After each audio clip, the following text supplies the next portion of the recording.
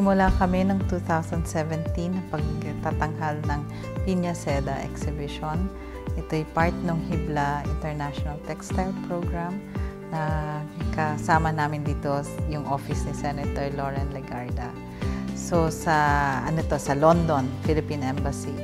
At maganda yung naging uh, bunga nito kahit uh, challenge kami na apat na kwarto ang dapat namin punuin at uh, nagkaroon naman kami ng maraming participants. So simula noon, um, nailipat namin noong 2018 sa anim na destinations. So punta, pumunta ito sa uh, Lisbon, Madrid, Washington DC, New York at saka uh, Honolulu. Tapos bumalik kami ng Europe sa Frankfurt din ng huli last year. So ngayon, ito yung unang-una namin, Asian leg na nag, uh, may mga up, tatlo pang ibang destinations sa Hanoi, Singapore at saka sa Bangkok. So tuwa, natutuwa kami kasi talagang marami kaming natutuhan from the six, seven previous uh, exhibitions. So ngayon mas maganda ang tingin namin mas maganda ang pagtatanghal dito.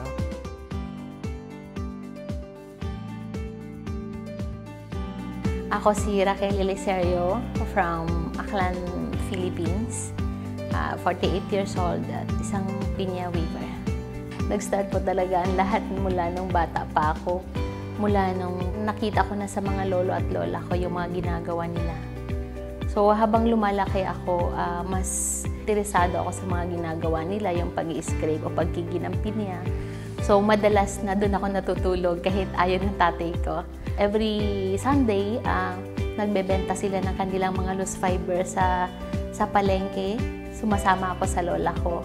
So doon ko nakita kung paano nakatulong yun sa, sa hanap buhay o nagiging hanap buhay ng mga lola ko at syempre po, yung mga magulang ko, yun din ang ginagawa. Ako po si Carlo R. Eliserio from Balete, Aklan. I am 22 years old and a weaver. Came from a family of weaver also.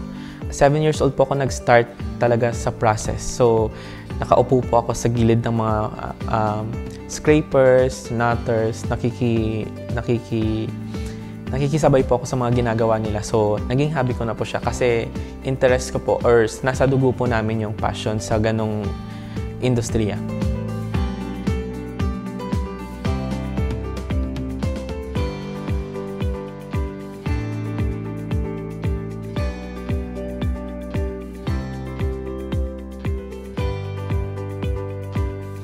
Ako po si Loreto Dimaano Maestre Jr., 35 years old po, uh, taga Lumban, Laguna. Actually, natutunan ko po yung embroidery when I was in grade 4. Pero hindi ko po siya tinuturing na pag kinakakataan kasi tumuturok lang ako pag ang nanay ko po ay tumatayo sa ano sa upuan niya pag nananahe. So tatakbo na po ako, uupo ako. Uh, bali parang uh, ginagaya kinokopya ko po yung mga strands at ng turok niya.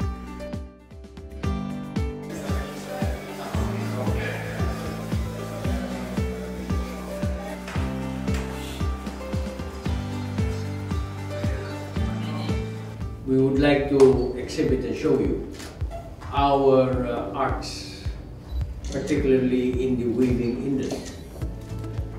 This industry, it's a cottage industry that is specifically done by women. Uh, there are two of them there who, who weave. Uh, they're dressed also in vinya. And it's quite interesting that this is our national uh, attire. And uh, we would rather show you than talk about it. Thank you very much. The histories of uh, textiles and clothing perhaps started with a human history.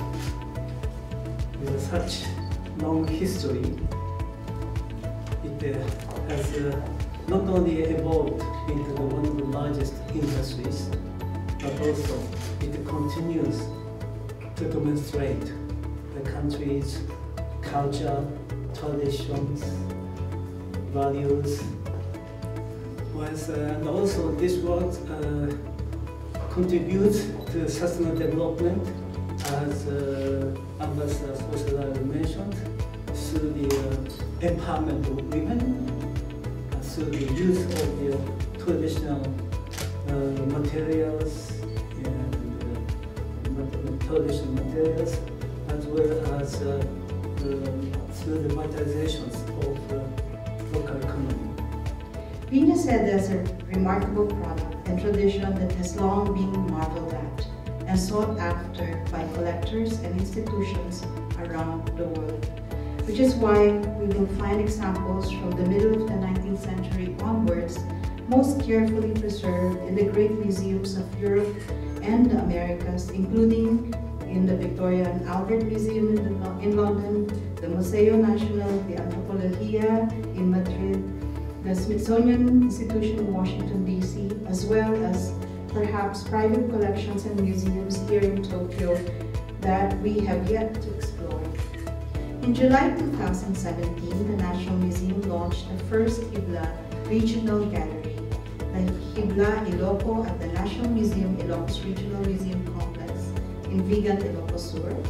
And in December 2018, the Habol Panay Permanent Textile Gallery was launched at the National Museum Western Visayas Regional Museum in Iloilo City. Many more Hibla regional galleries will soon rise, and we hope that someday we will have not only galleries, but one full Hibla museum, a vision that I know we can bring into fruition. Congratulations, ladies and gentlemen. The Hibla Filipino exhibition is now officially open. Inopen namin itong exhibition, may very positive, no? Tingin nga nila, very unique kasi yung pinya eh. Sinasabi nga namin na combine na ngayon with cocoon silk and as you know, yung mga Japanese, ah, sanay sila dun sa seda, no? So, si- like yung mga kimono kasi nila, no? So, very positive nung responses. Tapos, nandyan yung diplomatic corps. Tapos, naka- naisip na, bakit di kayo pumunta sa mga bansa namin para din itanghal ito, no? So, maganda yung reception. Pero, nakakatuwa nga yung, lalo na with the local Filipino community dito. Ah, nalagang ano, parang biglang naging proud sila, no, na nakita ng ganun. Kaya hindi nga, ang approach namin, hindi yung mga fashion shows, kasi medyo fleeting yan, saka temporary. Ito, nakikilala nila kung sino talaga yung mga weavers at saka embroiderers. Naman nga po sila sa mga ginawa po namin, lalo na po yung nakita nilang hand embroidery po yung ginawa namin, nagtaka po sila na matagal gawin pero sa totoo matagal po kasi. Kasi mabusisi po ang pagbuborda lalo na po kung tagalumban ang nananahi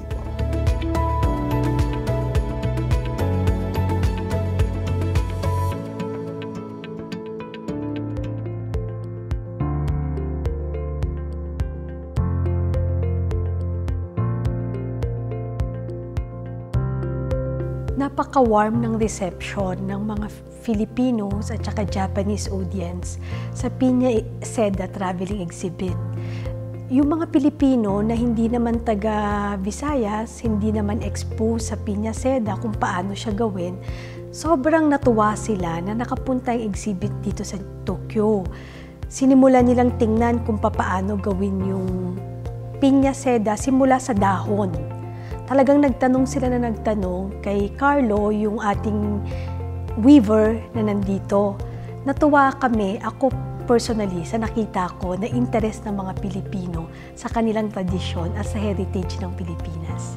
Natutuwa ako dun sa mga Haponesa na nag ah, nagpa-participate kasi e- even yan, before that nalalam, nalaman ko nga na gusto gusto nilang pumunta dito tapos nung nam, finally na meet namin sila. Tapos parang excited na excited. Di pa nagsisimula. Ready na sila to go.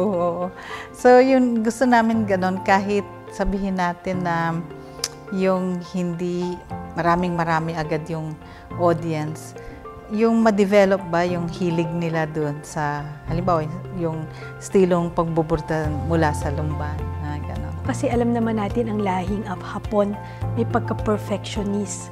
Sa kanila ang crafts, pag ginawa nila, dapat pulido. Na-impress sila dito sa exhibit kasi nakita nila na ang hirap gawin ng pinya seda. Sigurado ako na na-appreciate nila yung exchange ng culture, natuwa sila doon. Kita naman natin ngayon habang nagbubulda sila na impress na impress sila sa craftsmanship ng Pilipino. In the process of pinya barong po, it's a intricate process. It's a sensitive process to make the fiber fine, uh, malinis, mabuti, tsaka po um, matibay.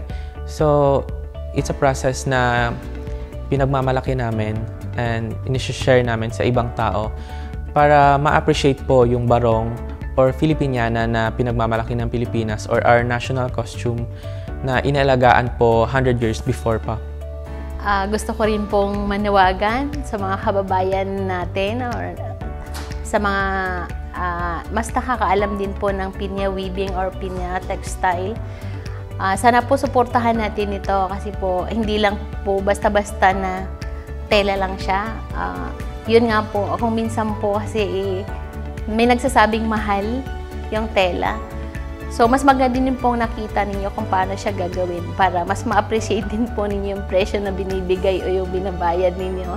Sana po tulungan ninyo ang aming weaving industry sa Aklan at patuloy po natin itong tangkilikin. Salamat. Sana masuportahan nyo kami dahil pupunta kami sa mga 14 na labing apat na, na destinations nitong taon na to. Yun nga, inumpisahan namin ngayon dito sa Tokyo at pupunta kami sa uh, tatlong pang-Asian countries, uh, Hanoi, Bangkok, at saka Singapore, at sa Europe at saka Americas, nandun din kami nakakagulat nga at uh, naanyayahan din kami hanggang Buenos Aires. So, sana po pagka nabalitaan nyo na pupunta kami dyan, puntahan nyo po yung exhibition. Sa iba pong mga komunidad sa ibang bansa, pag nagpunta po ang traveling exhibit sa inyong lugar, huwag na huwag po nyo kakalimutang suportahan ito. Ito po ay para sa atin, para sa bayang Pilipino, para sa mga Pilipino na kapareho natin. Salamat po.